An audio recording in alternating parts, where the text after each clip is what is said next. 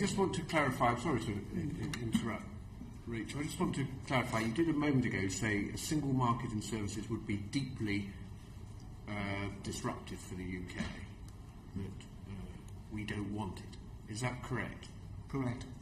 Single market equals harmonisation in Brussels, equals the rule of the ECJ, equals the rule of a legal system which is not the common law system, which equals the destruction of one of the most valuable assets this country's got. It's just important that we have clarification. And so, therefore, the premise on the basis of which policy under successive governments uh, has been pursuing is erroneous. That is, basically, single, since the Single European Act, an attempt has been made to construct a single market in services which has had a measure, many would argue, of success, not whole, but partial.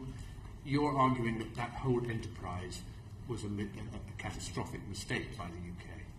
The whole enterprise has been misconceived from the beginning. Whitehall totally blundered at the very start of this entire so you're process. saying yes to what I Lord said? Cockfield, I'm saying definitely yes. Okay. Cockfield and Delors set the whole single market process away. They conned Thatcher over what it meant. Whitehall has never figured out what on earth is going on with this since. It babbles on about s- a I'm sorry single market and services, Rachel. and I just wanted- actually it would be damaging. Just wanted clarification at that point. Do, do carry on. Um, thank you, Uh, um, Chairman. So, um, not being part of the, the single market is, is not uh, um, something you would regard as a sacrifice. You think it is one of the reasons to leave the European Union is to leave the, the single market. I think that one of the great reasons to leave the European Union is that we end the jurisdiction of the ECJ and the Commission over all of these things, this whole regulatory regime, which, of which the single market is the biggest aspect. I would remind you that the ECJ's and the Commission's definition of the single market includes the euro and the Schengen area. So being outside lots of parts Well, of the single we've already market had this is not discussion. I think we've already had this uh, Exactly. uh, discussion. so the- so the uh, real question Mr. is- Cummings, we're not part of the single currency. We're not part of Schengen. We're So- not so we're already outside of, the two um, biggest single market those- projects those already. things. And we'll we be adding to that. We do have, uh, Mr. Cummings, as you know, uh, uh, access uh, to uh, that that that, uh, that single market across the European Union for the sale of, of, of goods and We are services. partially part of single market Let me just now. come back to um, one of your answers, and I'll, I'll wrap up in a moment, Mr. Chairman. Um, you said that um, other European countries would um, you know, want to do um, deals with us because they want to access, for example, uh, the financial services in London. Wouldn't it might maybe more likely um, that if we were left the European Union, uh, other countries might want to have some of those financial services uh, centred in their capital cities or in their financial centres rather than in London, Leeds and Edinburgh uh, where financial services is dominant today. Uh, and, uh, and, and instead of them wanting to do deals, for example, on financial services, they would want to take this as an opportunity to uh, take jobs from this country uh, uh, to, to their own countries. And there's a real risk that instead of the UK being the preeminent centre of financial services across the European Union, you may find that Paris or Frankfurt take jobs and business uh, from um, London, Leeds, Edinburgh and other cities.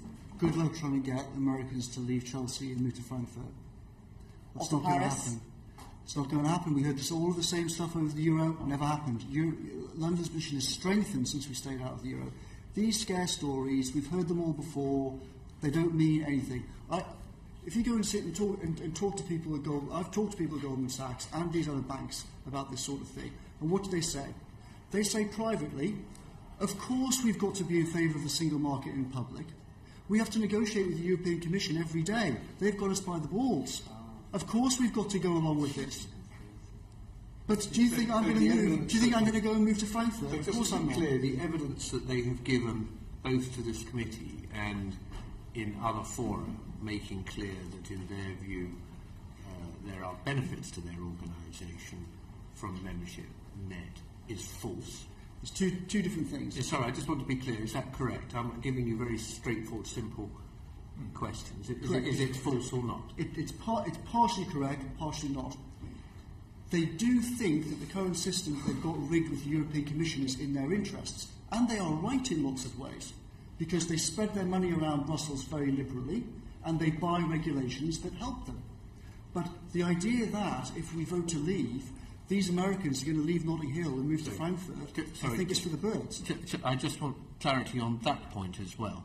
what you're saying is that they are using uh, cash uh, to bribe their way in Brussels to obtain regulations that suit their firm's interests. Did I On a get that? huge scale. Okay, so they're engaged in a, in a form of bribery to obtain the legislation that best suits them. Well, definitions of lobbying and bribery are always very difficult to draw clean lines between, aren't they? I see. And what you're saying is that that line is being blurred all the time by Goldman Sachs at best, and perhaps they're the wrong side of it. Is that what I'm What I'm saying is everyone knows that Brussels is a deeply corrupt city, and everyone knows that the European Union is a deeply corrupt institution. It can't, its accounts are, con- even if, it can't even cheat its own internal auditors well enough to hide the fact that its own accounts are dodgy. And every year it has to admit that. So I think, don't think that's a controversial position. I think we are finally, we're not quite in the way perhaps all of us expected, getting somewhere this afternoon um, with this evidence from Vote Leave, who are, after all, the official campaign uh, for um, those who feel that we should leave uh, the EU